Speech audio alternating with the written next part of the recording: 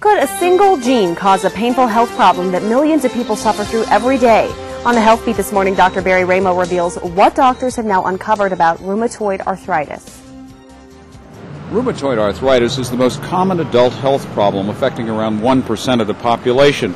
We have long suspected that genes play a critical role in developing this disease, since siblings of affected parents have a 5 to 10 times greater risk for developing it. A new study of several thousand people with rheumatoid arthritis compared the DNA with genetic material from healthy people. Researchers found that a single gene called STAT4 increased the odds of rheumatoid arthritis by 60%.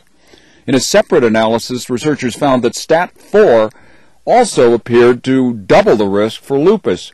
Both lupus and rheumatoid arthritis are disorders of the immune system, but this new research shows that they are very closely connected.